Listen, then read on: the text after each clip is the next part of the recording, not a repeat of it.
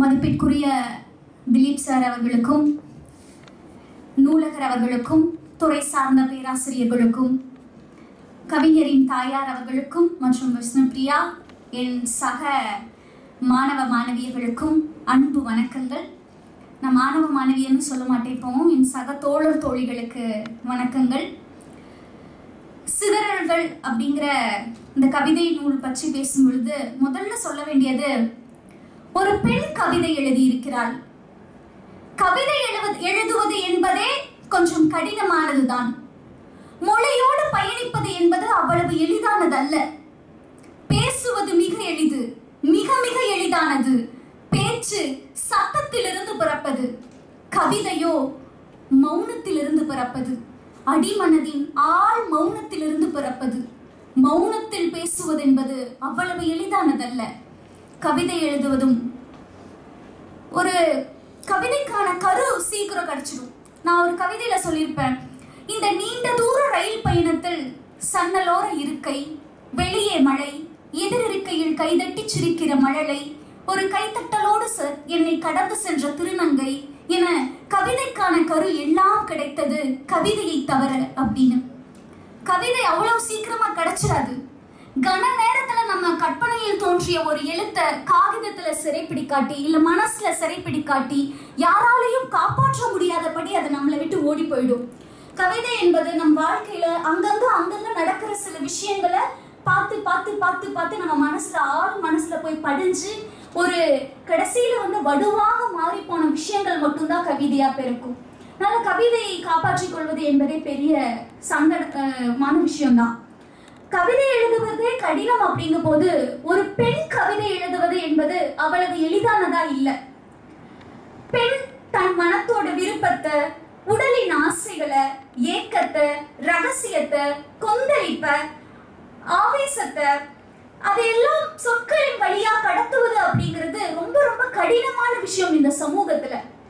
ஐயா சொன்ன மாதிரி ஆண்டாளுக்கு அப்புறம் ஒரு மிக ஆண்டாள் தான் முதல்ல தன்னுடைய காதலை தன்னுடைய உடலின் உணர்வுகளை மனதின் உணர்வுகளை வெளிப்படையா பேசினான்.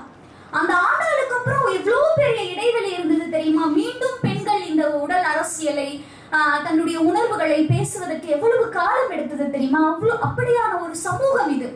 இந்த சமூகத்துல பெண் எழுதுவது என்பது ஒரு ஆண் எழுதுவது ரொம்ப எளிமை எளிதானது. வண்ணதாசன் அவர்கள் தன்னுடைய கவிதையில் எழுதும்போது சொல்வாரு நீங்கள் உங்கள் போக்கில் எழுதுங்கள். நான் என் போக்கில் எழுதுகிறேன். அவரவர் போக்கில் அவரவர் வரத்து அப்படின்னு சொல்லுவாங்க. என்னுடைய கவிதைகளுக்கு விதிகளோ திசைகளோ பாதைகளோ எதுவுமே இல்லை. நான் என் போக்கில் எழுதிட்டே போறேன் அப்படிங்கறதா ஒரு ஆணினுடைய ஆணுக்கான இலக்கணமா இருக்கும். ஆனா ஒரு பெண் எழுத வரும்பொழுது நீ இதை தான் எழுதணும். இதையெல்லாம் எழுதக்கூடாது. நீ இதெல்லாம் பேசலாம். இதை பேசக்கூடாது என்கிற இந்த சமூகம் விதிக்கிற அத்துணை கட்டுப்பாடுகளையும் தன் மனதில் நிறுத்தி கொண்டு ஒரு பெண் எழுத வேண்டியதா இருக்கு. அப்படியான சூழல்ல ஒரு பெண் எழுதுவது என்பது கொண்டாடப்பட வேண்டியது. இந்த புத்தகத்தை நான் வாங்கிட்டு போய் வாசிக்கும் பொழுது நான் பார்த்தேன். நிறைய காதல் சார்ந்த கவிதைகள் இருந்தது. நிறைய தன் ஆழ்மனதில் பெண் தன்னுடைய மன உணர்வுகளை காதல் உணர்வுகளை சில காம உணர்வுகளை பேசுகிற கவிதைகள் இருந்தது. நான் அதை படிச்சுட்டே இருக்கும் பொழுது ஒரு தடவை நீயா நானா நிகழ்ச்சி நடந்துட்டு இருந்தது. ஒரு பக்கம் ஆண் கவிஞர்கள் உட்கார்ந்துருந்தாங்க இன்னொரு பக்கம் பெண் கவிஞர்கள் உட்கார்ந்துருந்தாங்க. அப்ப அந்த விஷயம் என் மனசுல வந்துட்டு போச்சு. நானும் ஒரு நிமிஷம் அப்படியே யோசிச்சேன் நிறைய காதல் கவிதைகள் இருக்கே அப்படின்னு சொல்லிட்டு. அப்போ அந்த ஆண் கவிஞர்கள் கிட்ட இருந்து ஒரு குற்றச்சாட்டு வந்தது. பெண் கவிதை எழுதினாலே ஒரு பர்சனல் டைரியை எழுதுற மாதிரியே இருக்கே. ஏன்? அவ எப்ப பார்த்தாலும் காதல் காமம் என் உடல் என் என் குடும்பம் இந்த கு- குடும்பம் என்ன வந்து ஒரு ஓ- ஓரத்துல போட்டுருச்சு. இப்படி இப்படியே எழுதிட்டு இருக்காங்களே ஒரு ஒரு பர்சனல் டைரி மாதிரியே எழுதிட்டு இருக்காங்களே தன்னோட பிரச்சனையவே எழுதிட்டு இருக்காங்களே இதெல்லாம் வந்து உங்களுக்கு தப்பா தெரியலையா? எப்ப நீங்க சமூகத்தை பத்தி எழுத போறீங்க? எப்ப நீங்க வந்து ஒரு சக மனுஷனோட பிரச்சனையை எழுதுவீங்க? அப்படின்லாம் வந்து ஆண் கவிஞர்கள் பக்கத்துல இருந்து நிறைய குற்றச்சாட்டுகள் வந்தது. அது வரும் பொழுது நான் திரும்ப ஒரு நிகழ்வுல வந்து அதே மாதிரியான நிகழ்வுல நான் அவர்களுக்கு பதில் சொன்னேன்.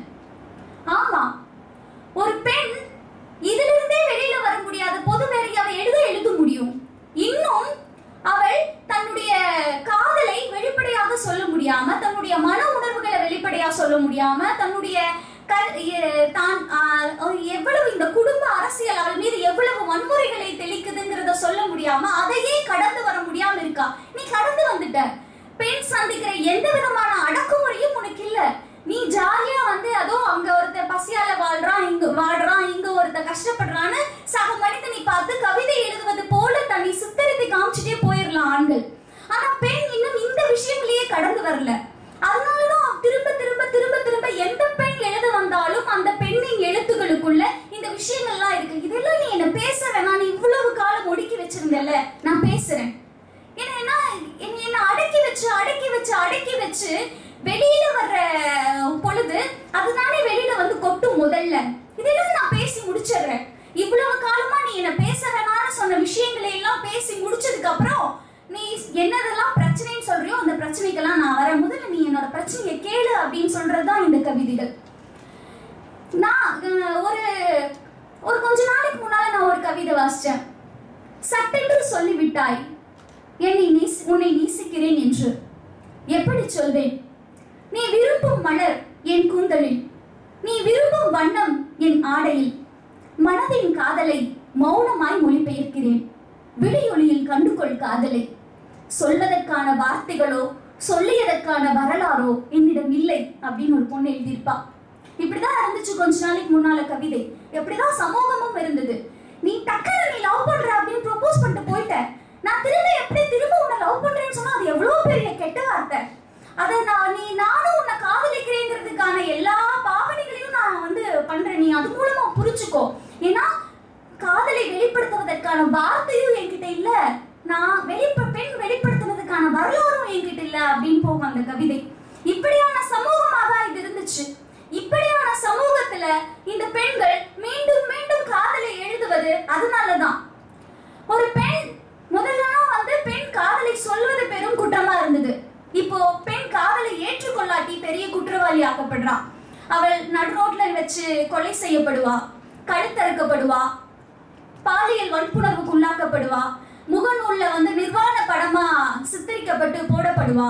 அப்போ பெண் ஒரு பக்கம் காதலை சொல்வதே தவறா இருந்தது. இப்போ காதலை ஏற்றுக்கொள்ளாதது மிகப்பெரிய தவறா போயிடுச்சு. இப்ப இந்த மாதிரி மீண்டும் மீண்டும் மீண்டும் சமூகத்துல அடிபட்டு அடிபட்டே வர ஒரு பெண்ணினுடைய குரல் இப்படிதான் இருக்கும். அப்பதான் நான் படிக்கும் பொழுது புரிஞ்சுக்கிட்டேன். பெரும்பாலும் நானும் கவிதை புத்தகத்தை படிக்கும் பொழுது அந்த இந்த சமூகத்தில் இருக்க பிரச்சனையை பத்தி இருக்கணும் அதை பத்தி இருக்கணும் இதை பத்தி இருக்கணும் அப்படின்னு நான் யோசிப்பேன். ஆனா நான் இந்த சிதறல்கள் படிக்கும் பொழுது ஆமா ஒரு கல்லூரி மாணவி எழுதுகிற கவிதை புத்தகத்துல எப்படி காதல் கவிதை வரலாம் அப்படின்னு இந்த சமூகம் கேள்வி கேட்கும் இல்லையா? அதே கேள்வியை நானும் கேட்டேன்னா அப்ப நான் எவ்வளவு பெரிய துரோகம் பண்றேன் என்னுடைய இனத்துக்கு அப்படின்னு எனக்கு தோணுச்சு. அதனால அவன் எழுதட்டும். இன்னும் இன்னும் நிறைய அவளால அவளுடைய உணர்வுகளை எவ்வளவு வெளியில கொட்ட முடியுமோ கொட்டட்டும். அவளுக்கு கவிதை கைவர பெற்றுச்சு அவளுக்கு தன்னுடைய உணர்வுகளை மன உணர்வுகளை எப்படி கவிதையாக்குறது அப்படிங்கிற வித்தை தெரிஞ்சிருச்சு இன்னும் அவள் எல்லாவற்றையும் கொட்டட்டும். இந்த கவிதை எழுதுகிற ஒரு பெண்ணாக உருவாகிட்ட பிறகு அவ என்னவோ பின்னால இருப்பா அப்படின்னு என்னால இப்பவே கற்பனை செய்ய முடியுது. அவளுடைய உணர்வுகளை பிரதிபலிக்கிற கவிதைகளை இப்ப வடிக்கிற அந்த பெண் பின்னால பின்னால போகும் பொழுது தன்னுடைய சக பெண்ணினத்தின் அத்துணை வழிகளையும் கவிதை வழியாக வெளிக்கொண்டு வருகிற கவிதை வழியாக தன் சக இனத்துக்காக போராடுகிற ஒரு பெண்ணா உருவாயிடுவா. அதற்கான விதை இங்க போடப்பட்டிருக்கு. அதனால இந்த பெண் வந்து இன்னும் நிறைய எழுதட்டும் அப்படின்னு நானே என்னுடைய மனதுக்கும் நானே பேசிக் கொண்டிருந்தேன். ஆ வெண்ணிலாவோட ஒரு கவிதை இருக்கு. இப்ப நிறைய மேடைகள்ல நிறைய பேச்சு போட்டிகள்ல நிறைய க- கட்டுரைகள்ல நான் இதை பேசிட்டேன் எழுதிட்டேன். ஆனா இன்னும் அந்த கவிதையை சொல்லி காண்பதற்கான சூழல் இருந்து கொண்டே இருக்கு.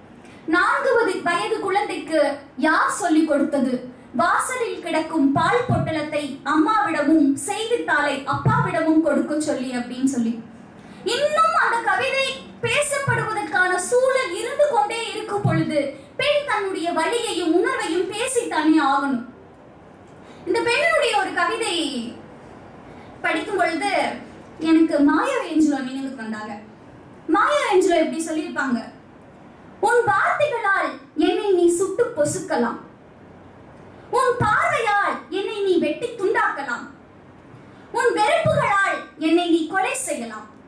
ஆனால் சத்தமில்லாமல் காற்றைப் போல் மேலெழுவேன் அப்படின்னு சொல்லுவாங்க. அதே மாதிரியான ஒரு பிம்பம் இந்த பெண்ணுடைய கவிதையில நான் பார்த்தேன். சூழல் தீயாக எரிந்து கொண்டிருந்தாள் அவள். தீ காட்டு தீயாக பரவியது. வெந்து கொண்டிருந்தாள். அவள் துடித்தாள். கண்ணீரால் அணைக்க முயன்றாள். சாம்பலானாள்.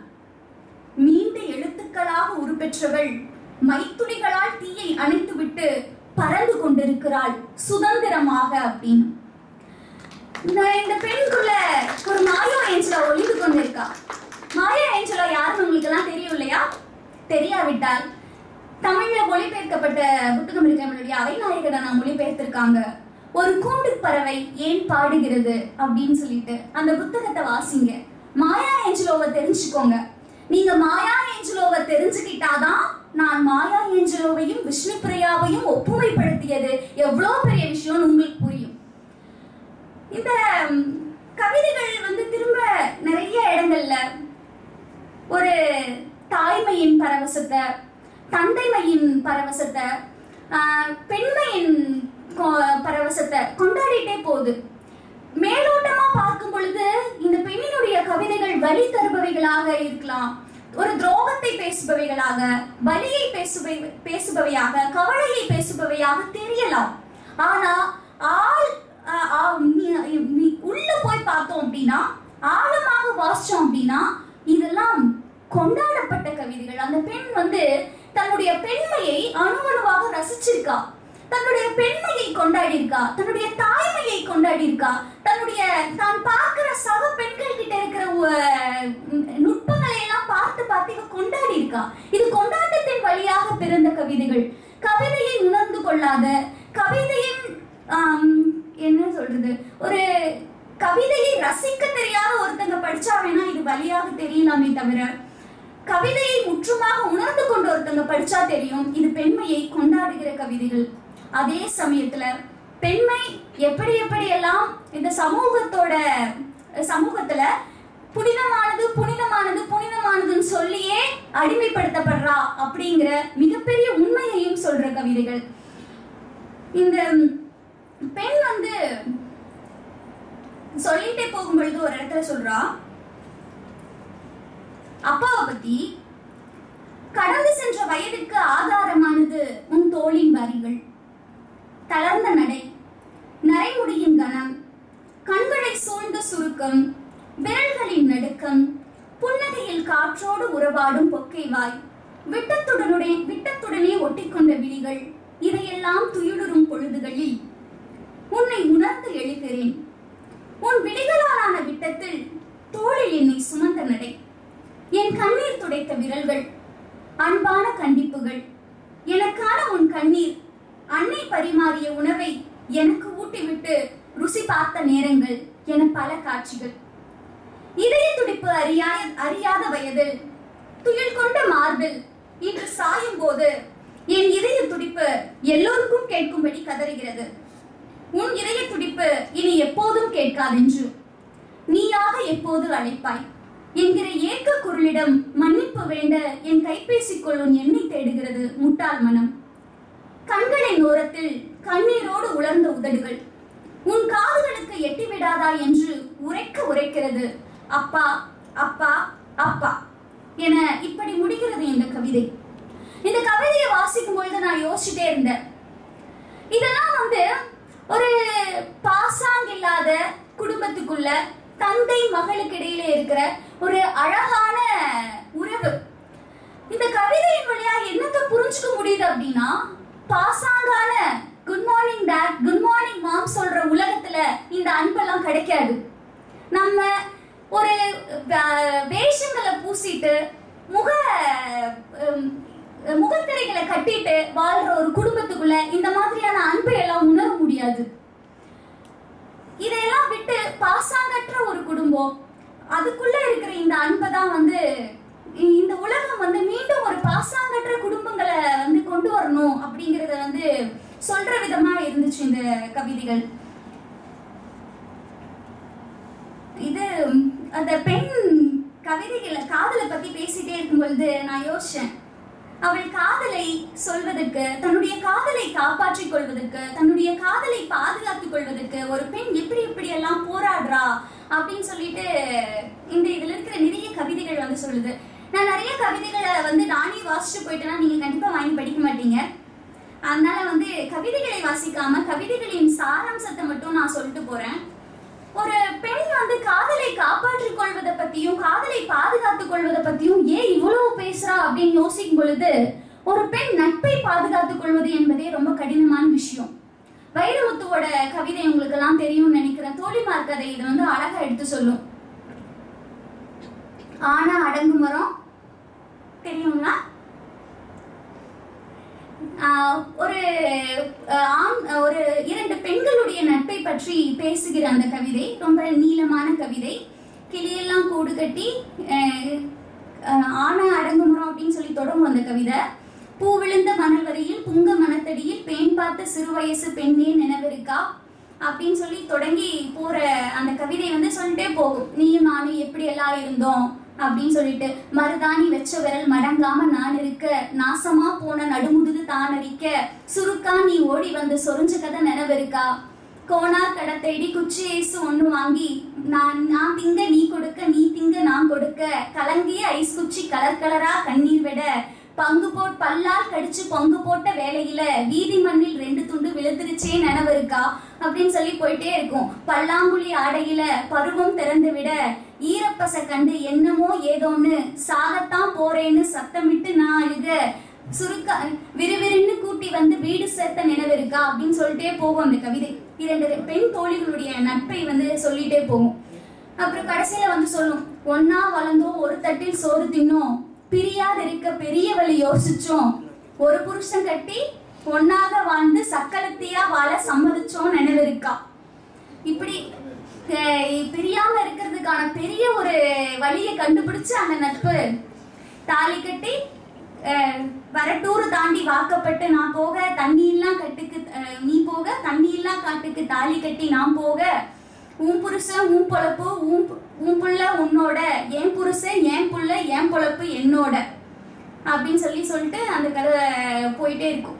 அப்போது அப்போ எவ்வளோ பெரிய நட்பு நம்ம ரெண்டு பேரும் ஒரே புருஷனை கட்டியாவது ஒரே வீட்டில் இருந்துருவோம். எப்படியாவது நம்மளோட ஃப்ரெண்ட்ஷிப்பை காப்பாத்திடுவோம் அப்படின்னு சொன்னோம் அந்த நட்பு.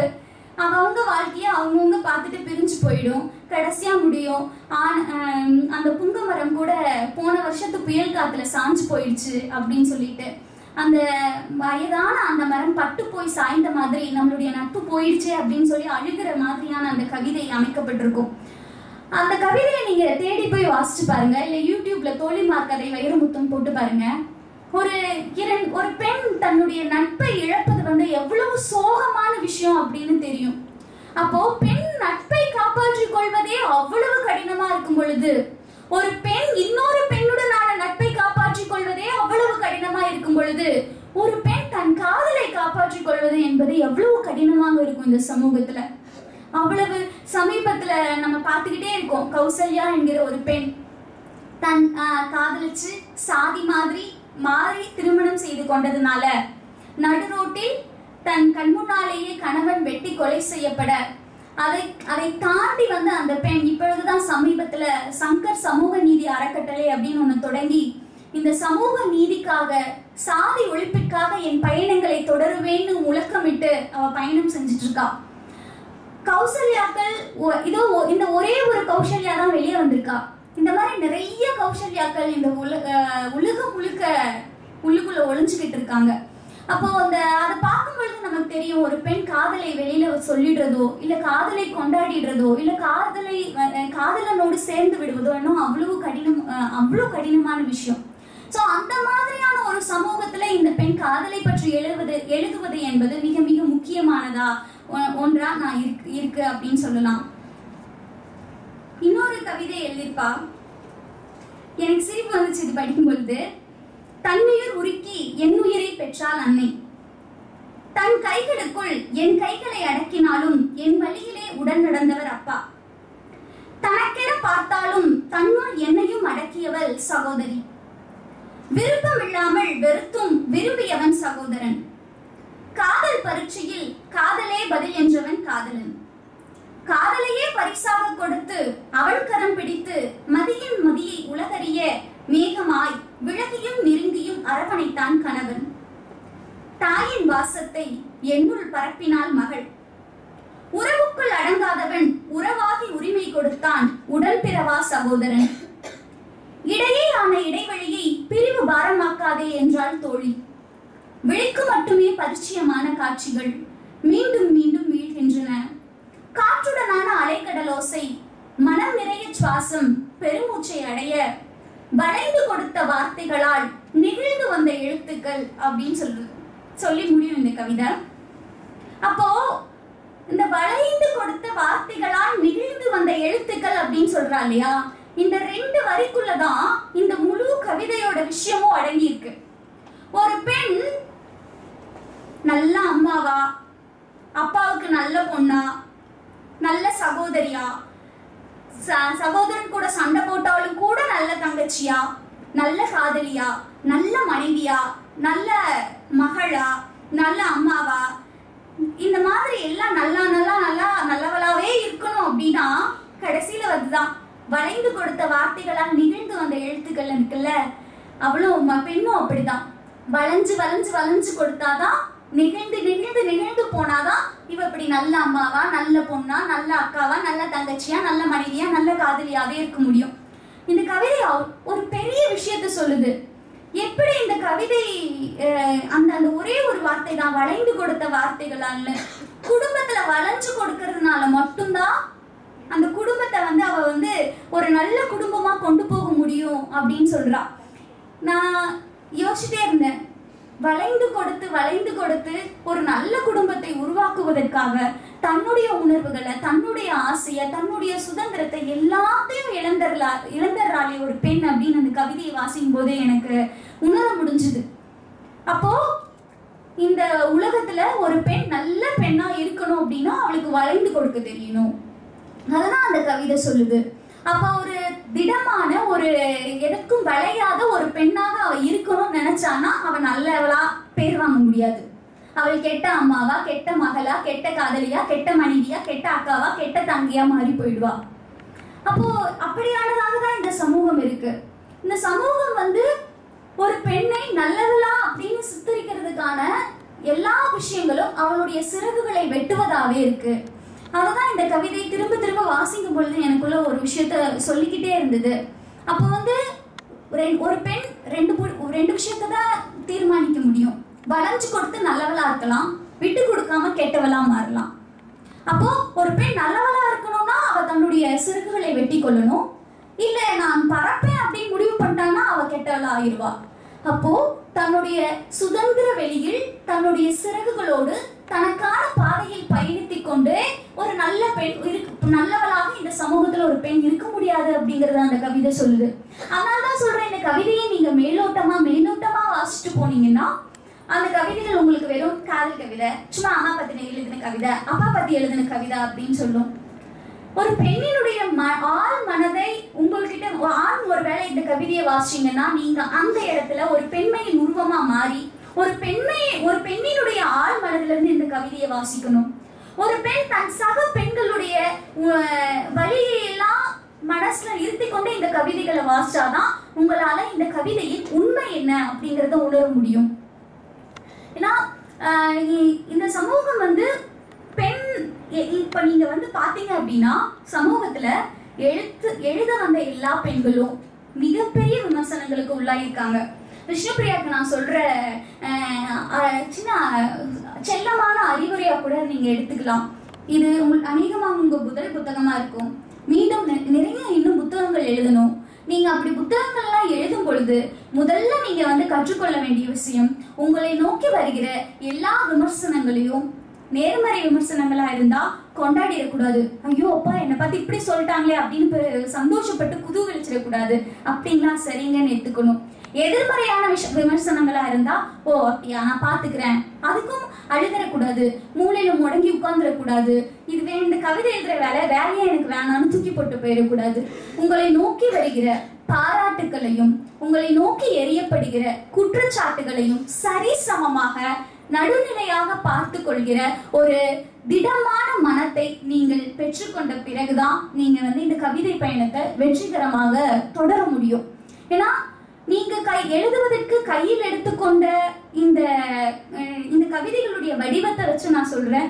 நீங்க உங்களுடைய முதல் கவிதை வேணா ஒரு மேலோட்டமான காதல் கவிதைகள் நிறைந்திருக்கிற இந்த கவிதை புத்தகமா இது இருந்தாலும் கூட உங்ககிட்ட ஒரு பெண்ணினுடைய மன உணர்வை அவள் உடல் சார்ந்தும் மனம் சார்ந்தும் காதலை பற்றியும் காமத்தை பற்றியும் எழுதுவதற்கான தைரியம் உங்ககிட்ட இருக்கு. நிறைய பெண்கள் கிட்ட அது இல்ல. பெரும்பாலும் ஒரு பெண்ணினுடைய கவிதை வந்து உச்சபட்சமாக அவன் இல்லாம என் வாழ்க்கை இல்ல அப்படிங்கறத முடிக்கிற முடிச்சிருக்கோட விட்டுடும் ஆனா உங்களுடைய கவிதைகள் அப்படி இல்ல. உன்னுடைய துரோகத்தை தாண்டியும் உன்னுடைய ஏ நீ ஏமாற்றினாலும் கூட நீ துரோகம் செஞ்சாலும் கூட நீ என் மேல ஏறி நின்னாலும் கூட நீ என்ன அடக்க நினைச்சாலும் கூட அதையெல்லாம் தாண்டி நான் வெளியில வந்துருவேன். ஏன்னா இந்த பெண்ணினுடைய கவிதைகள் மீண்டும் மீண்டும் சொல்கிற ஒரு விஷயம் என்ன அப்படின்னா நான் உன்னை காதலிக்கலாம். ஆனா என் காதலை கொண்டு நீ என்னை அடிமையாக்க நினைத்தால் ஒருபோதும் அது சாத்தியமாகாது. என்னுடைய காதல் என்னை நீ அடிமையாக்குவதற்கு ஒருபோதும் அனுமதிக்காது அப்படிங்கறத திரும்ப திரும்ப பேசுக பேசுகிறது இந்த பெண்ணினுடைய கவிதைகள். இந்த பெண்ணினுடைய கவிதை வந்து காதலால ஐயோ நான் உன்னை உயிர் காதலிக்கிறேன். நீ என்னை எப்படியாவது ஏத்துக்கோ அப்படின்னு சொல்ற வழக்கமான காதல் கவிதை இல்லை. என்னுடைய காதல் நியாயமானது. என்னுடைய காதல் நேர்மையானது. என்னுடைய காதல் சத்தியமானது. நீ அதே அளவுக்கு நேர்மையானவனாகவும் சத்தியமானவனாகவும் உண்மையானவனாகவும் இருந்தா இந்த முழுமையான அன்பு உனக்கு கிடைக்கும். அப்படி இல்லாட்டி உன்னை உதறி தள்ளிட்டு நான் போயிட்டே இருப்பேன்னு சொல்ற சராசரியையும் தாண்டிய மிக வலிமையான எழுத்துக்கள் இந்த பெண்ணினுடையது. பெரும்பாலும் நான் வந்து உங்களுக்கு தெரியும். தி- நானா இருந்தாலும் சரி திலீப் சாராக இருந்தாலும் சரி நாங்களாம் திலீப் சார் எல்லாம் பார்த்து வந்தவங்க தான் நாங்க பொய் சொல்ல மாட்டோம். ஒரு கவிதை புத்தகம் நல்லா இல்லைன்னா ஓகே நீங்க ட்ரை பண்ணிருக்கீங்க. இது கொஞ்சம் நல்லா எழுதுங்க அப்படின்னு சொல்லிட்டு போவதுக்கு அவங்க எவ்வளோ பா கோடி கோடியா பணம் கொடுத்து நீ ஒரு நல்லா இல்லாத கவிதை புத்தகத்தை நல்லா இருக்குன்னு பேசுன்னு சொன்னாலும் நாங்கெல்லாம் பேச மாட்டோம். உண்மையை மட்டும்தான் பேசுவோம். இந்த பெண்ணுடைய கவிதைக்குள்ள அடுத்தடுத்து இந்த பெண் எழுத போகிற கவிதைகள்ல மிகப்பெரிய மாற்றங்கள் சமூகம் சந்திக்கிற சமூகத்தில் சக பெண்கள் சந்திக்கிற வலிய உள்ள எடுத்துட்டு போய் எழுதுகிற ஆற்றலும் தைரியமும் வல்லமையும் இந்த பெண்ணுக்கு இருக்கு அப்படிங்கிறத இந்த கவிதைகளின் வழியா நான் உணர்ந்ததுனால தான் நான் வந்து இவளால முடியும் அப்படின்னு பேசுறேன். அந்த இருள் மின்னிய கவிதைகள் பயணத்தில் சந்தித்த கவிதைகள் மழையில் நனைந்த கவிதைகள் தனிமையில் வாடிய கவிதைகள் ஏக்கங்களில் தவித்த கவிதைகள் பார்வையில் ரசித்த கவிதைகள் பிரிவை உணர்ந்த கவிதைகள் துரோகத்தில் விழித்த கவிதைகள் என கண்ணீர் எட்டி பார்த்த தருணமெல்லாம் கவிதையாய் பிறந்தன. இன்று பேனாவை எடுக்கும் தருணங்களில் வார்த்தைகளால் வார்த்தைகள் எல்லாம் கண்ணீர் வெள்ளத்தால் அடித்துச் செல்லப்பட்ட பின் வடுவாக எஞ்சி நிற்கிறது ஒரு கவிதை. இதுதான் நான் சொன்னேன். கவிதை எப்படி பிறக்கும்னா சும்மா நிறைய இடத்துல கவிதை எழுதலாம்னு தோணும். மழை பெய்யறப்ப ஒரு பூனைக்குட்டியை பார்க்குறப்ப பஸ்ல போறப்ப கடலை பார்க்குறப்ப ட்ரெயினை பார்க்குறப்ப ஏரோப்ளேனை பார்க்கறப்ப நிறைய இடத்துல கவிதை எழுதலாம்னு தோணும். ஆனா கவிதை எப்ப பிறக்கும் அப்படின்னா இந்த தோன்ற இடம்லாம் போயிடும். ஆழமான ஒரு உணர்வு ஒரு உண்மை ஒரு வலி இல்ல ஒரு பெரிய கொண்டாட்டம் எது வந்து ஆழ் மனதுல போய் பதிஞ்சு நின்றுடுச்சோ அதுதான் கவிதையா வெளியில வரும். சோ அந்த மாதிரி இந்த பெண்ணினுடைய ஆள் மனதுல இருந்து வெளியில வந்த கவிதைகள் எல்லாமே இதுவரைக்கும் பெண் பேசப்படா பேசினா தப்புன்னு சொன்னதெல்லாம் வெளியில வந்திருக்கு. இது வந்து இந்த பெண்ணினுடைய ஆள் மனதில் மட்டும் இல்ல நிறைய பெண்ணினுடைய ஆள் மனதுல வந்துட்டு நிறைய விஷயங்கள் பதிஞ்சிருக்கு. ஆனா அதெல்லாம் வெளியில சொன்னா தப்பாயிடுமோ அப்படின்னு நிறைய விஷயத்த அவ சொல்லாம இருக்கா. அதை இந்த பொண்ணு சொல்லியிருக்கா. சார் வந்து முன்னுரையில் எழுதியிருப்பாரு பேசா பொருளை பேச நான் துணிந்தேன் அப்படின்னு. இதுவரைக்கும் பெண் எதெல்லாம் தன்னுடைய ஆள் மனதில் தான் அடக்கி வச்சுக்கணும் பேசக்கூடாதுன்னு சொன்னாங்களோ அதை இந்த மாதிரி கல்லூரி பருவத்தில் இருக்கிற மாணவிகளே பேச வந்திருக்கிறது அப்படிங்கிறது கொண்டாடப்பட வேண்டிய விஷயம். ஏன்னா வந்து பெண்ணை வந்து ரொம்ப நம்மளை வந்து அடிமைப்படுத்துறத வந்து எப்படி பண்ணுவாங்க அப்படின்னா ரொம்ப ரொம்ப நுட்பமா பண்ணுவாங்க. நல்லது இதுதான் என நயமாய் திணிப்பதுவும் கூட பெண்ணடிமையின் ஒரு பரிணாமம் தான் நூற்றில் ஒரு கன்னி முதிர் கன்னிக்கு திருமண முன்னேற்ற தடையாக இருக்கலாம். விட்டு விடுங்கள் அப்படின்னு நான் சொல்லியிருப்பேன். நீ வந்து நான் இதுதான் நல்லது இதுதான் நல்லதுன்னே வந்து பெண்ணை அடிமைப்படுத்துறது தான் வந்து இன்னைக்கு இருக்கிற இந்த அறிவால படித்த அறிவு சமூகம் எடுத்திருக்கிற ஆயுதம் வந்து அதுதான். இது உனக்கு நல்லது. நீ சுதந்திரமா இரு. நீ பர. நீ வந்து சந்தோஷமா இரு. நீ கொண்டாடு உன் வாழ்க்கைய. அப்படின்னு சொல்லி மேலோட்டமா சொல்லி சொல்லியே இன்னொரு விதத்துல இன்னொரு பக்கமா பின்புற பின்புறமா அவளை அடிமைப்படுத்திட்டே போவாங்க. ஸோ இந்த மாதிரியான நுட்பமான சதிகளை எல்லாம் பெண் வந்து தாண்டி வெளியில வர வேண்டியதா இருக்கு. அந்த மாதிரியான சமூகத்துல இந்த மாதிரி பெண்கள் எழுத வருது எழுத வருவது. எழுத வரும்போதும் எதெல்லாம் எழுதக்கூடாதுன்னு சொன்னாங்களோ எதை எதெல்லாம் பேசக்கூடாதுன்னு சொன்னாங்களோ அதையெல்லாம் பேசுவது எழுதுவது அப்படிங்கிறது கொண்டாடப்பட வேண்டிய விஷயம். இந்த ஹிந்துஸ்தான் கல்லூரியில இந்த இந்த சிதறல்கள் நூல் வி- நூல் வெளியீட்டு விழா என்னை பொறுத்த வரைக்கும் ஒரு இந்த சமூகத்துக்கு தேவையான ஒரு முக்கியமான விழாவை நான் பார்க்குறேன். சார் சொன்ன மாதிரி நிறைய கூட்டம் இல்லை. கொஞ்சம் பேர் தான் இருக்கும். ஆனா இந்த சமூகத்துல இந்த உலக வரலாறு என்ன சொல்லியிருக்கு? எல்லா புரட்சிகளும் கொஞ்சம் பேர்னால தான் நடந்தது. எல்லா நல்ல விஷயங்களும் கொஞ்சம் பேர்னால தான் நடந்தது. கூட்டமாக கூடி சத்தம் போட்டு கும்மாலம் விட்டு கூடி கழிகிற இடமா கசில் என்ன நடக்கும்? எல்லாரும் கூடுவோம் சந்தோஷமா இருப்போம் கூட்டமா இருக்கும். குப்பைகளை மட்டும் போட்டுட்டு கலைஞ்சு போயிடுவோம். ஆனா குறைவான ப- மனிதர்களாக இருந்தாலும் கூட இங்கிருந்து தான் நாளைக்கு என் சமுதாயத்துக்கு தேவையான ஏதாவது நல்ல விஷயம் வரும். ஏதாவது மாற்றம் வரும். இந்த கல்லூரியில படிக்கிற எல்லா ஒருவேளை அவங்களாம் வந்து நல்ல என்ஜினியரா ஆயிடலாம். நல்ல சயின்டிஸ்டா ஆயிடலாம். நல்ல ஆடிட்டரா வரலாம். நல்ல கம்ப்யூட்டர் டெக்னி டெக்னாலஜிஸ்டாக வரலாம். இந்த மாதிரி இந்த ஓடி போய் இங்கே இல்லாமல் வெளியில் போனாங்கல்ல அவங்க எல்லாரும் நல்ல நல்ல நல்ல நல்ல தொழில்நுட்பவாதிகளாக வரலாம். ஆனால் இந்த சமூகத்துக்கு தேவையெல்லாம் நல்ல மனுஷங்க தான். சார் சொன்ன மாதிரி இங்கிருந்து தான் நல்ல மனிதர்கள் வர முடியும். ஒரு சக மாணவி தன்னுடைய சக தோழி ஒரு புத்தகம் எழுதியிருக்கா? அதை கொண்டாடுகிற அதை பற்றி பேசுவதை கேட்கிற மனம் இருக்கிற நீங்கள் தான் நாளைக்கு சமூகத்துக்கு ஏதாவது நல்ல விஷயம் பண்ணுவீங்க. அதனால என்னை பொறுத்த வரைக்கும் கூட்டமா இல்லை அப்படிங்கிறத எல்லாம் நான் கவலைப்படவே இல்லை. எனக்கு ஒருத்தர் இருந்தாலும் கூட நான் பேசுவேன் பத்து பேர் இருந்தாலும் கூட நான் பேசுவேன். ஏன்னா எங்களை பொறுத்த வரைக்கும் யாராவது ஒருத்தர்னால இந்த சமூகத்துல ஏதாவது மாற்றம் வந்துடாதா அப்படின்னு வந்து ஏக்கத்தோட பயணிச்சுட்டு இருக்கிறவங்க தான். ஆஹ் பத்தி இன்னும் சொல்றதுக்கு என்ன இருக்குன்னா நீங்க எல்லாரும் இந்த புத்தகத்தை வாங்கி படிங்க. தன்னுடைய சக தோழிக்கு இந்த கல்லூரி வாழ்க்கையில ஒரு சக தோழிக்கு நீங்க கொடுக்குற கொஞ்சம் குறைந்தபட்ச மரியாதை வந்து அவள் எழுதியிருக்கிற ஒரு புத்தகத்தை வாங்கி படிச்சு நல்லா இருக்கோ நல்லா இல்லையோ அவர்கிட்ட போய் படிச்ச நல்லா இருந்தது. இல்ல இந்த இடத்துல நீ சரி பண்ணிக்கணும் அப்படிங்கிற உங்களுடைய கருத்துக்களை நீங்க சொல்லுங்க. ஏன்னா உங்ககிட்ட இருந்து தான் உங்ககிட்ட இருந்து வாங்குற விமர்சனங்கள்ல இருந்து தான் நாளைக்கு அந்த பொண்ணு இன்னைக்கு இந்த சொசைட்டிக்கு இந்த சமூகத்துக்கு தேவையான நிறைய விஷயங்களை அவ எழுதணும். நிறைய விஷயங்களை அவ பேசணும். அதுக்கு உங்களுடைய ஆதரவெல்லாம் மிக அதிகமாக தேவையா இருக்கு. நான் நினைச்சிட்டு நீங்க நினைச்சிருக்கலாம் இந்த இவங்க பேசும்பொழுது முழுக்க முழுக்க பெண் பெண் பெண்ணுனே பேசுறாங்க அப்படின்னு சொல்லிட்டு. இங்க- அதுக்காக நான் இங்க இருக்கிற ஆண்களை மதிக்கல அப்படின்னு அர்த்தம் இல்ல. பெண்ணுக்காக பேசுவது என்பது ஆணுக்காக பேசுவதும் தான். இந்த நான் எப்பவுமே சொல்வேன் பெண்ணுக்குள்ள இருக்கிற பெண்மையை விட ஆணுக்குள்ள ஒழிஞ்சிட்டு இருக்கிற ஒரு பெண்மை ரொம்ப அழகானது. பெண்ணுக்குள்ள இருக்கிற பெண்மை வெளிப்படுறதை விட ஆணுக்குள்ள இருக்கிற பெண்மை வெளிப்படுற தருணங்கள் ரொம்ப ரொம்ப அற்புதமானவை அப்படின்னு சொல்லுவேன். அதனால நான் பெண்ணுக்காக பேசுவது என்பது ஆணுக்காக பேசுவதும் அஹ், அப்படிங்கிறதா அப்படிங்கிறத தயவு செஞ்சு புரிஞ்சுக்கோங்க. இந்த பெண்ணை இ- இன்னும் நிறைய எழுதுவதற்கு இன்னும் நிறைய புத்தகங்களை வெளியிடுவதற்கான சாத்தியங்களை கூட இருக்கிற நண்பர்களா நீங்க ஏற்படுத்தி கொடுக்கணும் அப்படிங்கிறத அன்பான வேண்டுகோளா நான் வைக்கிறேன். ஏன்னா நான் திரும்ப வந்து அதான் நான் சொல்றேன். பெண் எழுதுவது வந்து ரொம்ப அவசியமானது.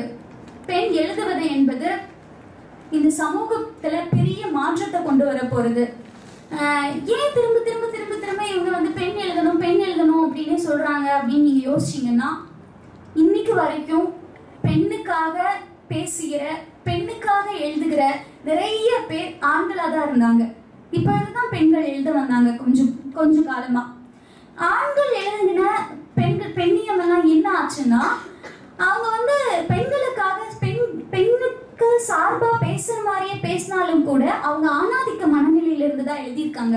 அதனால இன்னைக்கு பெண்ணியம் அப்படின்னு பேசப்படுறது எல்லாமே வந்து ரொம்ப பெரிய விஷயமா வந்து பெண்ணியம் பேசப்பட்டாலும் தவறான பெண்ணியம் தான் இன்னைக்கு கற்பிக்கப்பட்டிருக்கு. இன்னைக்கு நிறைய பெண்கள் வந்து என்ன நினைச்சிட்டாங்கன்னா பெண்ணியம் அப்படிங்கிறது தண்ணி அடிக்கிறது பெண்ணியம் அப்படிங்கிறது டேட்டிங் போறது அப்படின்னு நிறைய பேர் நினைச்சிட்டு இருக்காங்க. ஏன்னா அப்படிதான் வந்து பெண்ணியம் அப்படிங்கிறது வந்து அடங்காம இருந்தாதான் பெண்ணியம் அப்படின்னு வந்து தப்பா சித்தரிக்கப்பட்டது. அதுவும் ஒரு ஆணாதிக்க சிந்தனையிலிருந்து தான் இதெல்லாம் வெளியில வந்துச்சு. அப்ப இது எப்ப மாறும் அப்படின்னா பெண்ணுக்கான உணர்வுகளை பெண்ணுக்கான தேவையை பெண் சந்திக்கிற வன்முறைகளை பெண் சந்திக்கிற கொடுமைகளை பெண்ணே எழுதும் பொழுது இல்ல பெண் எதிர்பார்க்கிற சுதந்திரத்தை ஒரு பெண்ணே எழுதும் பொழுது மட்டும்தான் நம்ம முழுமையான பெண்ணியத்தை சத்தியமான பெண்ணியத்தை இந்த உலகத்துல நம்ம பார்க்க முடியும். இன்னைக்கு நம்ம பெரும்பாலும் பேசுகிற பெண்ணியம் வந்து மேடையில கைத்தட்டல் வாங்குறதுக்காகவும் விருதுகள் வாங்குறதுக்காகவும் மட்டுமே பேசப்படுது. அப்ப இந்த மாதிரி பெண்களை எல்லாம் நம்ம எழுதி தூண்டினாதான் நிறைய பெண்கள் எழுதவும் பேசவும் ஆரம்பித்தாதான் ஆணாதிக்க சமூகத்திலிருந்து இங்க இந்த பெண்கள் விடுபட்டு ஒரு சுதந்திரமான நேர்மையான உண்மையான பெண்ணியத்தை வந்து பெண்கள் போய் அடைய முடியும். பெண்கள் வந்து அப்படி என்ன பெண்கள் இன்னைக்கு கொடுமையா சந்திக்கிறாங்க? பெண்கள் நல்லா தான் இருக்காங்க அப்படின்னு போற பொதுவா வந்து சொல்லிட்டு போயிட்டே இருக்காங்க. அப்படி இல்ல. நம்ம இன்னைக்கு இப்போ இந்த மேடையில பேசிட்டு இருக்கோம் இல்லையா? இந்த சமயத்துல நான் இந்த சிதறல்கள் பத்தி பேசுகிற விஷ்ணுபிரியாவின் கவிதையை பத்தி பேசி இருக்கு பேசி முடிக்கிறதுக்குள்ள உலகத்துல ஏதாவது ஒரு மூலையில குறைந்தபட்சம் மூன்று பெண்கள் பாலியல் வன்புணர்வுக்கு உள்ளாக்கப்பட்டிருப்பாங்க. இதுதான் வந்து ஸ்டாட்டிஸ்டிக்ஸ் சொல்லுது. ஒவ்வொரு நாளும் ஒவ்வொரு மணி நேரத்துலயும் ஒரு மணி நேரத்துக்கு இரண்டு அல்லது மூன்று பொன் பெண்கள் வந்து பாலியல் வன்புணர்வுக்கு உள்ளாக்கப்படுறாங்க. இதுதான் இன்னைக்கு இருக்கிற நிலைமை. சமீபத்துல ஒரு கண்காட்சி நடந்தது பெங்களூர்ல. என்ன கண்காட்சி அப்படின்னா ஒரு ஆடைகள் கண்காட்சி. அதாவது நம்ம எல்லாரும் போய் கலர் கலரா வரிசையாக வரிசையா வச்சிருப்பாங்க. நம்ம செலக்ட் பண்ணி பிடிச்ச ட்ரெஸ்ஸை எடுத்துட்டு வர மாதிரியான கண்காட்சி அல்ல அது. பாலியல் வன்புணர்வுக்கு உள்ளாக்கப்பட்ட பெண்கள் அந்த பாலியல் வன்புணர்வுக்கு உள்ளாக்கப்படும் பொழுது என்ன ஆடைகள் அணிந்திருந்தார்கள் அப்படிங்கிறத அப்படின்னு அந்த ஆடைகளை அந்த பெண்கள் கிட்ட இருந்து வாங்கி அவங்களுடைய முகம் வெளியிடாம அந்த ஆடைகளை மட்டும் அடக்கி வச்சு ஒரு கண்காட்சி அமைக்கப்பட்டிருந்தது. அதுக்குள்ள போய் பார்க்கும் பொழுது ரொம்ப ஒவ்வொரு ஆடையை தாண்டும் பொழுதும் நான் அழுதுகிட்டே நடந்து போனேன். ஒரு வயது குழந்தையுடைய ட்ரெஸ் இருந்தது. மூணு வயது எல்கேஜி ட்ரெஸ் ஒரு ஸ்கூலோட எல்கேஜி ப்ரீகேஜி யூனிஃபார்ம் மூணு வயது குழந்தையோட ட்ரெஸ் இருந்தது. ஃபர்- பர்தா இருந்தது. சாரி இருந்தது. நிறைய சுடிதார்ஸ் இருந்தது. எல்லா சுடிதார்லயும் ஷால் இருந்தது. அப்போ ஒரு வயது குழந்தையோட குழந்தையா இருந்தாலும் மூணு வயசு யூனிஃபார்ம் போட்ட குழந்தையா இருந்தாலும் சொல்றாங்கல்ல பெண்ணை ஒழுக்கமா ட்ரெஸ் போட்டு போனா எதுக்கு அவன் ஆண்கள் வந்து பார்க்க போறான் அவ வந்து அந்த இடத்துல நிர்பயாவை கேட்டாங்கல்ல நடுராத்திரியில ஆம்பளைங்க கூட எதுக்கு இப்படி ட்ரெஸ்ஸை போட்டு போனோம் அடக்க ஒடுக்கமா சேலையை கட்டி இருக்கலாம் அப்படின்னு சொன்னாங்கல்ல அந்த சேலை இருந்தது. எதுவுமே தெரியாம கையில இருந்து முகத்துல இருந்து வெறும் கண்ணு மட்டும் வெளியில தர மாதிரி முழுக்க மூடிக்கிற ஃபர்தா இருந்தது. நிறைய ஷால் ஒழுக்கமா ஷால் போடும் ஒழுக்கமா ஷால் போடும் சொல்றாங்கல்ல ஷால் இருந்தது. அப்போ அந்த கண்காட்சியை பார்க்கிருந்த ஒவ்வொரு மனுஷனும் ஒவ்வொரு மனுஷியும் மனுஷனும் அழுகாம அந்த அரங்கத்தை விட்டு வெளியே போகவே முடியாது. சமூகம் பொதுவா சொல்லிட்டு போகிற நல்லா ட்ரெஸ் பண்ணியிருந்தா எதுக்கு வந்து அவளுக்கு இந்த நிலைமை வரப்போகுதுங்கிற கேள்விக்கு அந்த இடத்துல பதில் இருந்தது. ஒரு பெண் பாலியல் வன்புணர்வுக்கு உள்ளாக்கப்படுவதற்கான காரணம் ஆடை அல்ல. அவ வந்து நைட் நேரத்துல வெளியில வந்ததில்லை. அவ வந்து அஹ், வீட்ல இருந்து வெளியில வந்து வீட்டுக்கு பேச்ச கேட்காம டேட்டிங் போனதில்ல. ஏன்னா வந்து ஒரு கட்டிட வேலை செய்யற பெண்ணும் அதே வந்து பா வேலை செய்யற இடங்கள்ல பாலியல் வன்புணர்வு பாலியல் சீண்டல்களுக்கு உள்ளாக்கப்படுறான் நுனி நாக்குல ஆங்கிலம் பேசினா ஹைடெக் பொண்ணும் பாலியல் சீண்டலுக்கு உள்ளாக்கப்படுறான். ஸோ அவ பார்க்குற வேலையும் இல்லை. அவளோட பொருளாதார சூழலும் இல்லை. அப்போ இது எல்லாம் தாண்டி ஒரு பெண் பாலியல் வன்புணர்வுக்கோ பாலியல் சீண்டலுக்கோ உள்ளாக்கப்படுறானா? அதுக்கு என்ன காரணம்? சமூகம் தொட பொது புத்தியில ஒரு ஆணும் பெண்ணும் பேசிக்கொள்ளக்கூடாத விஷயங்கள்னு சிலதை ஒளிச்சு ஒளிச்சு ஒளிச்சு ஒளிச்சு வச்சாங்க இல்லையா? ஒரு பையனும் பொண்ணும் பேசினாலே தப்புன்னு தள்ளி தள்ளி பிரிச்சு பிரிச்சு விட்டாங்க இல்லையா? ஒரு பெண் காதலை பத்தி பேசக்கூடாது ஒரு பெண் உடலை பத்தி பேசக்கூடாது ஒரு ஆணும் பெண்ணும் சேர்ந்து நின்னாலே அவர்கள் காதலர்களாக மட்டும்தான் இருக்க முடியும். இந்த உலகத்துல ஒரு ஆணும் ஒரு கல்லூரி வளாகத்துக்குள்ளேயோ ஒரு பள்ளியிலையோ ஒரு பா- ஒரு பூங்காலையோ ஒரு ஆணும் பெண்ணும் நண்பர்களாக சேர்ந்து நிற்கவே முடியாது அப்படின்னு இந்த சமூகம் சொல்லி கொடுத்தது இல்லையா? அதுதான் காரணம். படிச்சிருந்தாலும் சரி படிக்காட்டியும் சரி பணக்காரனா இருந்தாலும் சரி ஏழையா இருந்தாலும் சரி பெரிய இந்த அறிவுஜீவியின் கொண்டாடப்படுறவங்களா இருந்தாலும் சரி அறிவிலிகளா இருந்தாலும் சரி யாரா இருந்தாலும் ஒரு ஆணும் பெண்ணும் சேர்ந்து பழகுவதற்கான தடையை விதிப்பதை மட்டும் ஒழுக்கத்தின் அடையாளமாக அடையாளமா தான் இந்த சமூகம் எல்லாரும் இதான் வச்சிருக்காங்க. அப்போ நீங்க எதையெல்லாம் வந்து ஒழுக்கம் ஒழுக்கம் ஒழுக்கம் சொல்லி எ- ஏன் இப்படி ஆணும் பெண்ணும் பேசக்கூடாது அப்படின்னு தி- ஒரு அடக்குமுறையை திணிச்சு திணிச்சு திணிச்சு தான் இன்னைக்கு இத்தனை பாலியல் வன்புணர்வுகள் உண்டாயிருக்கு. ஆடையை தாண்டி பணத்தை தாண்டி நேரத்தை தாண்டி எல்லாத்தையும் தாண்டி ஒரு சக பெண்ணை சக பெண்ணாக ஆணால பார்க்க முடியாத ஒரு நிலைமையை இந்த சூ இந்த சமூகம் உருவாக்கிடுச்சு சமீபத்தில் சமீபத்துல விஜய் பழனிசாமி அப்படின்னு சொல்லிட்டு ஒரு எழுத்தாளர் வந்து ஒரு பெண் எழுத்தாளர் வந்து ஆனந்த விகடன்ல ஆண்பால் பெண்பால் அன்பால் தொடர் வரும்பொழுது ஒரு கட்டுரையில எழுதியிருப்பாங்க. ஒரு படத்தை பார்த்துட்டு வந்து அதை பத்தி அந்த படம் சூப்பரா இருந்துச்சு அப்படின்னு பேசிக்கிற மாதிரி. ஒரு புக்கை படிச்சுட்டு இந்த புக்கு நல்லா இருந்துச்சு அப்படின்னு பேசிக்கிற மாதிரி. ஒரு காஃபி சாப்பிட்டுட்டு இந்த காஃபி நல்லா இருந்துச்சு. இல்ல நல்லா இல்ல அப்படின்னு பேசிக்கிற மாதிரி இந்த மாதிரி இயல்பா ஒரு ஆணும் பெண்ணும் செக்ஸை பத்தி பேசி கடந்து போற ஒரு சூழல் வந்தாதான் இங்க இருக்கிற பிரச்சனைகளை எல்லாம் வந்து நம்ம உடைக்க முடியும் அப்படின்னு வந்து எழுதியிருந்தாங்க. தான் உண்மை. ஒரு ஆணும் பெண்ணும் காதலை பத்தி பேசிட்டுமே இல்ல காமத்தை பத்தி பேசிக்கிட்டுமே இல்ல ஒரு ஆணும் பெண்ணும் அதை பத்தி மட்டுமே தான் பேசணுமா? அதை தாண்டி எவ்வளவோ இருக்கே ஒரு அவங்க நின்று பேசிட்டு போகட்டுமே அப்படின்னு அனுமதிக்கிற சமூகமா இது இல்லை. ஏதோ ஒன்று சொல்லி சொல்லி சொல்லி சொல்லி இது ஒழுக்கம் இல்லை இது ஒழுக்கம் இல்லை இது ஒழுக்கம் இல்லைன்னு சொல்லிட்டு நம்மளை அடக்கி அடக்கி அடக்கி வச்சதுனால தான் இன்னைக்கு இத்தனை பிரச்சனைகளை நம்ம சந்திச்சுக்கிட்டே இருக்கோம். ஆண் பெண்கள் பெண்கள் வந்து அடக்குமுறைகளுக்கு உள்ளாவனா உள்ளாகிறவர்களா ஆயிட்டே இருக்காங்க. எனக்கு பெண்களை பார்த்தா அந்த ரொம்ப ஆஹ், என்னடா இப்படி ஆயிட்டிருக்கு அப்படின்னு தோணுது இல்லையா? அதே அளவுக்கான கரிசனம் ஆண்கள் மீது எனக்கு இருக்கு. ஏன்னா பெண் அடக்குமுறைக்கு உள்ளானவளா கொலை செய்யப்படுறவளா ஆகும் பொழுது ஒரு ஆண் கொலைகாரனா ஆயிட்டு இருக்கான் எப்படி பெண் சமூகம் வந்து ஒரு திடம் இல்லாம ஒரு பெண் சமூகம் பாதுகாப்பு இல்லாத ஒரு சூழல்ல போயிட்டு இருக்கோ அதே மாதிரி ஒரு ஆண் சமூகமும் ஒரு பெரிய பாதிப்புக்கு உள்ளாயிட்டு இருக்கு மன பாதி மன பாதி மன அளவுல பாதிப்புக்கு உள்ளாயிட்டு இருக்கு ஆனா நான் பெண்களை பத்தி ஏன் இவ்வளவு தூரம் பேசுறேன்னா பெண்களுக்காக மட்டும் பேசல ஆண்களுக்காகவும் தான் பேசுறேன். விழுப்பிரியா அப்படின்னு ஒரு பெண் இறந்து போனது உங்க எல்லாருக்கும் தெரியும். ஒண்ணுமே இல்லை. அவ வந்து ஒரு ஆண் சொன்ன ஆண் அவர் ஆண் அவள் கிட்ட காதலை வெளிப்படுத்தும் போது அவ ஏத்துக்கல. அதுக்காக அவன் என்ன பண்ணா அப்படின்னா ஒண்ணுமே வேறு வேற ஒரு போக் சைட்ல வர ஒரு பெண்ணினுடைய நிர்வாண உடல்ல வினுப்பிரியாவுடைய முகத்தை மட்டும் ஃபிக்ஸ் பண்ணி ஃபேஸ்புக்ல போட்டுட்டான். அதை பார்த்த உடனே வினுப்பிரியா இனிமேல் நான் வந்து இந்த உலகத்துல எப்படி வாழ்வதுன்னு கொ- தற்கொலை செய்து கொண்டு இறந்து போயிட்டான் அப்போ நான் சொன்னேன் வந்து அது வந்து வினுப்பிரியாவோட உடல் இல்ல. வினுப்பிரியா அப்படிங்கிறவ உடல் மட்டும் இல்ல. தன் உடல் நிர்வாணமா காமிக்கப்பட்ட உடனே ஒரு பெண் வந்து இது தன்னுடைய அவமானம் அப்படின்னு துடி துடிச்சு இறந்து போயிட்டா. ஆனா சொல்லப்போனா அது அவளுடைய உடலே இல்ல. அப்ப அந்த ஆண் வந்து அந்த அவனுக்குள்ள எவ்வளவு பெரிய அந்த இது இருக்கும் ஒரு பெண்ணை அவமானப்படுத்துவதற்கு அவளுடைய ஆடையை கலைத்து விட்டுலாம் ஒரு பெண்ணை அவமான அவளுக்கு அவள் கற்பை குறை சொல்லிடலாம். ஒரு பெண்ணை அவமானப்படுத்துவதற்கு அவள் ஒழுக்கம் இல்லாதவள் அப்படின்னு சொல்லிட்டா போதும். அப்போ இந்த ஆணாதிக்க சமூகம் ஒரு பெண்ணை அவமானப்படுத்த ஒரு பெண்ணை பழிவாங்க பயன்படுத்துகிற உத்தி எல்லாம் பெண்ணினுடைய உடல் பெண்ணினுடைய உணர்வு. அதனாலதான் இந்த பொண்ணு இந்த பெண்ணினுடைய உடலையும் உணர்வையும் சொல்லி சொல்லி தானே வந்து நீங்க வந்து அஹ், அவளை வந்து பத் ஒரு ப- ஒரு வளையத்துக்குள்ள வச்சிருக்கீங்க.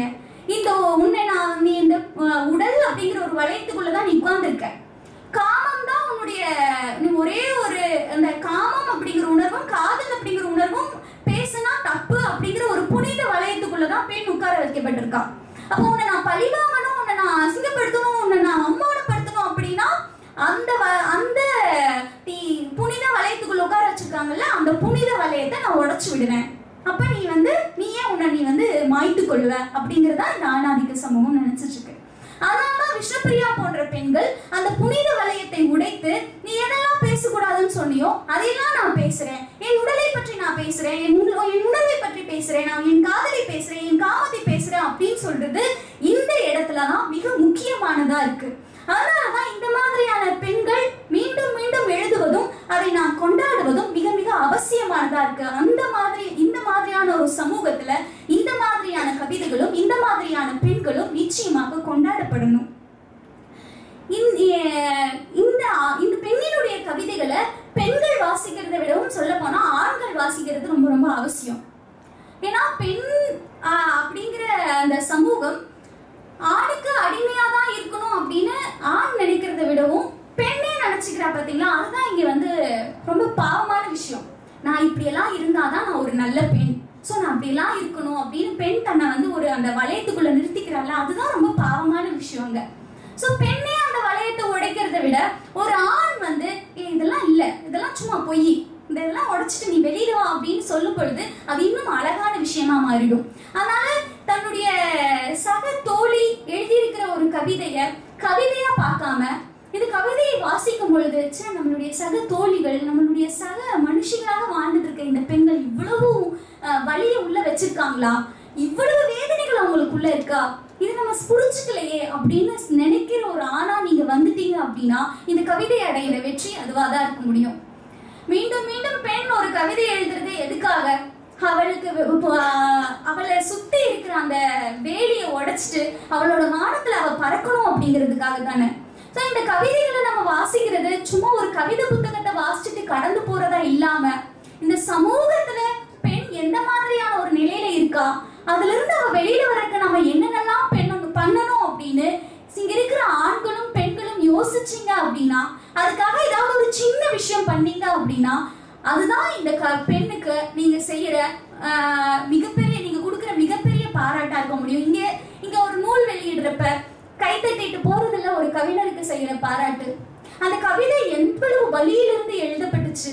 அந்த வழி இந்த சம இந்த இந்த சமூகம் இந்த சமூகத்தின் பெண் இனம் அந்த வழியிலிருந்து வெளியில வரணும்னா நம்ம என்ன பண்ணணும்னு ஒவ்வொருத்தரும் யோசிக்க ஆரம்பிச்சா அதுதான் உண்மையான பாராட்டு கைத்தட்டல்கள் இல்லை அதனால தயவு செஞ்சு நீங்க இந்த கவிதைகளை வாசிக்கும் பொழுது உங்களுடைய ஆழ் மனதுல சமூகத்தின் எதையெல்லாம் பெண் பேசக்கூடாதுன்னு சொல்லி எதை எதெல்லாம் வந்து புனிதம்னு சொல்லி ஒடுக்கப்பட்டிருக்காளோ அதையெல்லாம் எப்படி உடைக்கிறது அப்படிங்கிற என்ன ஓட்டத்தை நீங்க தயவு செஞ்சு இந்த கவிதைகளை வாசிக்கும் பொழுது உங்களுக்குள்ள நீங்க வந்து பெற்றெடுக்கணும். முதல்ல கவிதைகளை வாசிக்கணும். சமூகத்துக்காக இந்த கவிதைகளை வாசிக்கணும். உங்களுடைய சிந்தனத்தையும் சிந்தனையையும் வந்து சமூகத்தை நோக்கி மா- மடைமாற்றம் செய்து விடணும்னு நான் அன்போட கேட்டுக்கிறேன். விஷ்ணுபிரியா நிறைவாக விஷ்ணுபிரியா சிதறல்கள் மிகச்சிறந்த தொகுப்பு. உங்களுடைய தொடர்ந்து நீங்க எழுதுற கவிதைகள் உங்களுக்கானதா மட்டும் இருக்கக்கூடாது இந்த நான் சொன்னெல்லாம் பல நிர்பயாக்களுக்காக பல ஹாசினிகளுக்காக பல அஸ்வினிகளுக்காக பல கௌசல்யாக்களுக்காக. இந்த மாதிரி ஒவ்வொரு நிமிஷமும் ஆதிக்க சமூகத்தால் அடக்குமுறைக்கு உள்ளாகப்பட்டிருக்கிற ஒவ்வொரு பெண்ணுக்கானதுமா உங்களுடைய கவிதை இருக்கணும். கவிதை சமீபத்துல ஒரு பெரிய எழுத்தாளர் வந்து சொன்னாரு. இன்னைக்கு வந்து பிள்ளைங்க பச பிள்ளை பொண்ணு பசங்க என்ன கவிதை எழுதுறாங்க? புதுசா படிக்க வந்த படைப்பாளிகள் என்னத்தை பெருசா படிச்சுட்டாங்க? ஒரு ஆஹ், கொண்டு வந்து நாச்சந்தையில கவிதையை நிக்க வைக்கிற மாதிரி நிக்க வச்சுட்டாங்க. இவங்க ஒரு நூறு சொற்களுக்குள்ளதான் திரும்ப திரும்ப வர்றாங்க. சொல்ல சொற்களை எல்லாம் கொலை பண்றாங்க. இப்படின்னு பெரிய விமர்சனம் வச்சாரு. நான் திரும்ப ஒரே வார்த்தையில அடுத்து பேசும்போது சொன்னேன். இங்க பாருங்க. எங்களுடைய கவிதை எதுகை மூனையோடு மரபு தாளத்தோடு அழகாக அவத வேஷங்கள் பூசப்பட்ட அலங்காரம் செய்யப்பட்ட அழகியல் கவிதைகள்லாம் இல்லை. இந்த ஆதிக்க சமூகத்தின் மீது நாங்கள் காரி உமிழும் எச்சு. இந்த முதலாளித்துவ சமூகத்தின் மீது நாங்கள் தூக்கி எறியும் செருப்பு. இந்த ஆணாதிக்க சமூகத்தின் மீது நாங்கள் பிடுங்கி எறியும் தலைமயில். ஆதலால் எங்கள் கவிதையை நீங்கள் கவிதைக்குரிய பெரிய அலங்காரங்களோடோ பெரிய பெரிய பாராட்டுதல்களோடலாம் நீங்க கொண்டாட்டங்களோடலாம் இந்த கவிதையை நீங்க பார்க்க வேணாம். எங்க கவிதைய ஆதிக்கத்துக்கு எதிரான இந்த சமூக அநீதிக்கு எதிரான செருப்பாக எச்சிலாக தலைமயிராக பார்த்தால் போதும். எங்களுக்கு அவ்வளவு மரியாதை கிடைச்சா போதும் அப்படின்னு நான் சொல்லிட்டேன். அதான் நான் சொல்றேன். உங்களுடைய கவிதை இந்த ஆதிக்க சமூகத்தின் மீது எரிகிற இந்த ஆதிக்க சமூகத்தின் வேரை அசைச்சு பார்க்கிற அஸ்- அம்பாக இனி உங்களுடைய கவிதைகள் எரியப்பட வேண்டும். எல்லாத்தையும் பேசணும். எதை எதெல்லாம் பேசக்கூடாதுன்னு சொன்னானோ அதை எல்லாத்தையும் உடைச்சு பேசணும். பேசுவதன் மூலமாக தான் நம்ம வெற்றி அடைய முடியும். அதனால இனிமேல் நீங்க எழுத போற கவிதைகள் ஒரு மனுஷனோட பசிய ஒரு பெண்ணினுடைய ஒரு பாலியல் வன்புணர்வுக்கு உள்ளாக்கப்பட்ட பெண்ணினுடைய வலிய அடக்குமுறைக்கு உள்ளாக்கப்பட்ட சாதிக்கு எதிரான குரலாக அடக்குமுறைக்கு எதிரான குரலாக ஆதிக்கத்துக்கு எதிரான குரலாக முதலாளித்துவத்துக்கு எதிரான குரலாக இனி உங்களுடைய குரல் ஒழிக்க வேண்டும். உங்களுடைய கவிதைகள் பரிணாம மாற்றம் பெறும் பொழுது அது இந்த சமூகம் தவிர்க்கவே மு- தவிர்த்து விடவே முடியாத கவிதைகளாக வந்து உங்களுடைய கவிதைகள் இனி மாற்றம் பெற வேண்டும். அப்படி எழுத கவிதை எழுதுவதற்கான எல்லா திறனும் உங்ககிட்ட இருக்கு. இந்த சமூகத்துல நடக்கிற பிரச்சனைகளை உற்று நோக்கிறதும் இதுக்கு என்ன தீர்வா இருக்க முடியும்னு யோசிக்கிறதும் தான் இனிமேல் உங்களுடைய கவிதைகளை பரிணாம வளர்ச்சி அடைய செய்யும். இனிமேல் நீங்க சமூகத்தை பார்த்துட உங்களுடைய பார்வை இன்னும் விசாலமாக்கி சமூகத்தில் நடக்கிற எல்லா அவலங்களையும் எழுத துணிய வேண்டும். நீங்களும் உங்களுடைய சக தோழர்கள் இந்த மாதிரி படைப்பாளிகளாக உருவெடுக்கும் பொழுது தயவு செஞ்சு அவர்களை பாராட்டுங்க அவர்களை கொண்டாடுங்க அவங்களுக்கு ஆதரவு தெரிவிங்க படைப்பாளிகளால் தான் இந்த சமூகத்தில் இருக்கிற அழுக்குகளை அகற்ற முடியும். உங்களுக்குள்ளேயும் அந்த தன்மை இருந்தால் தயவு செய்து எழுதுங்க. எழுத வேணாம்னு சொன்னதையெல்லாம் எழுதுங்க. எழுதுறதையும் தாண்டி சமூகத்துக்காக செயல்படுங்க. நீங்க படிச்சு முடிச்சுட்டு உங்களுடைய கேரியருக்காக பணம் சம்பாதிப்பதற்காக நிறைய வே- வேலைகளை நீங்க பார்க்கணும் படிக்கணும் செமஸ்டர் பாஸ் பண்ணணும் உங்களோட பர்சனாலிட்டி டெவலப் பண்ணணும் எல்லாமே பண்ணணும். ஸோ அதை எல்லாமே நீங்க பண்ணுங்க. நீங்கள் பணம் சம்பாதிப்பதற்கான எல்லா வழிகளையும் நீங்க வந்து எடுத்துக்கோங்க. நல்ல வேலைக்கு போங்க. நான் இல்லைன்னுலாம் சொல்லலை. ஆனா உங்க வாழ்க்கையில ஒரு நாளைக்கு இல்லாட்டி ஒரு ஒரு மாசத்துல ஒரு நாள் அதாவது இந்த சமூகத்துக்குன்னு தயவு செஞ்சு ஒதுக்குங்க. நீங்க நான் எக்ஸாம்பிளுக்கு நான் சொன்னா இதை சொல்லி நான் நிறைவு பண்றேன். நான் ஒரு எம்என்சி கம்பெனில ஒர்க் பண்றேன். ஸோ எனக்கும் வந்து காலையிலேருந்து சாயங்காலம் வரைக்கும் ரிப்போர்ட் பண்ணுறது வந்து உங்களுக்கு தெரியும். ஒரு எம்என்சி கார்பரேட் கம்பெனி கொடு எவ்வளோ ஸ்ட்ரெஸ் இருக்குன்னு உங்களுக்கு தெரியும். நான் எம்என்சி கம்பெனியில் ஒர்க் பண்ணிகிட்டே தான் தமிழ் எனக்கு ரொம்ப பிடிக்கும். அதனால தமிழை நான் படித்தேன் ஆனால் நான் வாழ்றதுக்காக தான் தமிழ் படிக்கிறேன். நான் சொல்லுவேன் நான் பிஎஸ்சியே தமிழ் படிச்சிருக்கலாம். ஆனால் நான் ஒருவேளை அந்த தமிழ் படிச்சுட்டேன்னா அதை வேலை தேடுறதுக்காக அந்த தமிழை பயன்படுத்தினா ஒருவேளை எனக்கு அந்த இப்போ நான் தமிழ் மேலே காமிக்கிற அந்த பற்று போயிடுமோ அப்படிங்கிறதுக்காகவே நான் மைக்ரோ பயாலஜி படித்து வேற துறையில் வேலைக்கு போயிட்டு பிழைப்புக்காக தமிழை பயன்படுத்திடக்கூடாது நான் வாழ்வதற்காகவே என்னுடைய தமிழ் வேணும்னு தமிழ் படிக்க ஆரம்பிச்சு நான் பிஹெச்டி பண்ணுறேன் இப்போ.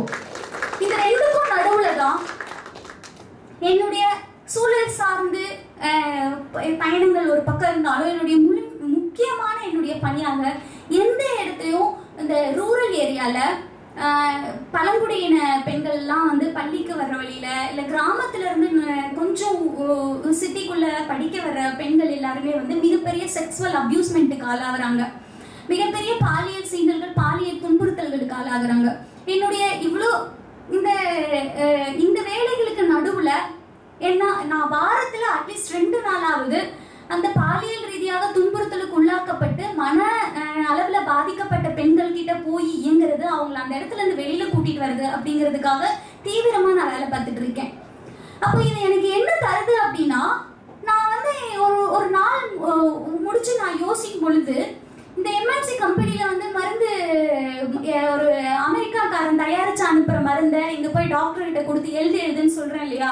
அது எனக்கு மிகப்பெரிய குற்ற உணர்வை தரும். ஏன்னா இங்க இருக்கிற டாக்டர்ஸ் எல்லாம் வந்து நோயாளிக்கு மருந்து நோய் குணமாகணும்லாம் மருந்து எழுதுறது கிடையாது. நான் ஒரு கம்பெனியில வேலை பார்க்குறேன். இங்க இருக்கிற ஒரு டாக்டருக்கு நான் கிஃப்ட் வாங்கி தருவேன். நான் ஃபாரின் டூர் அனுப்புவேன். நான் வந்து அவர் அவர் வீட்டில் பெட்ஷீட்ல இருந்து கிச்சனில் யூஸ் பண்ணுற திங்ஸ்ல இருந்து அவர் யூஸ் பண்ணுற லேப்டாப்ல இருந்து எல்லாமே நான் கொடுத்துருவேன். அவர் வாங்குற காருக்கு கூட நான் இஎம்ஐ கட்டுவேன். ஸோ என் கம்பெனி கொடுக்குற இதெல்லாம் கொண்டு வந்து நான் இங்கே டம்ப் பண்ண டம்ப் பண்ண அவனுக்கு வேற வழியே இல்லை. நான் எல்லாத்தையும் கொடுத்துட்டேன்னு சொல்கிறேன் நான் உனக்கு இது கொடுத்துருக்கேன் நீ ஏன் மருந்து எழுது? ஏன் மருந்து எழுதுன்னு சொல்வேன். ஸோ நோய் குணமாகணும்னு நோயாளிக்கு மருந்து எழுதுறது இல்லை. அந்த அவன் அந்த என்ன மருந்து எழுதுறானோ அந்த கம்பெனிக்காரன் அந்த டாக்டருக்கு எவ்வளோ கொடுக்குறாங்க அப்படிங்கிறத பொறுத்து தான் மருந்து எழுதுறாங்க. ஸோ இப்படியான ஒரு வேலை பார்க்குற எனக்கு எவ்வளோ குற்ற உணர்வு இருக்கும். ஸோ என்னுடைய வாழ்க்கையில இந்த இந்த ம- இந்த இந்த குற்ற உணர்வை நான் எங்க போய் தீர்த்துக்குவேன்? நான் வந்து அந்த ஒரு பாலியல் ரீதியாக துன்புறுத்தப்பட்ட ஒரு பொண்ணு நான் இனிமேல் ஸ்கூலுக்கே வரமாட்டேன்னு சொல்லும் பொழுது அவளை மீட்டெடுத்து மறுபடியும் ஸ்கூலுக்கு கூட்டிட்டு வந்து அவளை படிக்க வச்சு அவளை வெளியில கூட்டிட்டு வரும்போது எனக்கு கிடைக்கிற ஒரு திருப்தி இருக்கு இல்லையா? அது என்னுடைய எல்லா குற்றுணர்வையும் கொண்டுடும் நான் வந்து ஒரு மிக ஒரு நல்ல வாழ்க்கையை நான் வாழ்ந்துட்டு இருக்கேன் அப்படிங்கிற திருப்தியை தரும். ஸோ நீங்க சமூக பணி செய்யும் பொழுது உங்களுக்கு என்ன கிடைக்கும் அப்படின்னா உங்க வாழ்க்கையில மிகப்பெரிய திருப்தி கிடைக்கும். ஒரு பயனுள்ள அர்த்தமுள்ள வாழ்க்கையை நீங்க வாழ்ந்து முடிச்சிட்டீங்க அப்படிங்கிற ஒரு ஒரு மன நிறைவு இருக்குல்ல அது வேற எதுனாலையும் தர முடியாது. அதனால தான் சொல்றேன். சமூகத்துக்காக பொது சேவைக்காகலாம் இல்ல. உங்களுடைய வாழ்க்கையில ஒரு நல்ல வா முழுமையான வாழ்க்கையை நான் வாழ்ந்திருக்கேன் அப்படிங்கிற மனநிறைவு உங்களுக்கு கிடைக்கணும்னா தயவு செஞ்சு உங்களுடைய வாழ்க்கையில சில மணித்துளிகளை சமூகத்துக்காக ஒதுக்குங்க. இந்த ஒரு வாய்ப்பை அளித்ததுக்கும் இவ்வளோ நேரம் உட்கார்ந்து இவ்வளோ அமைதியாக பொறுமையாக கேட்டதுக்கும் என்னுடைய நெஞ்சம் நிறைந்த நன்றிகளையும் கவிஞருக்கு மீண்டும் ஒருவரை வாழ்த்துகளையும் தெரிவித்துக்கிறேன் நன்றி.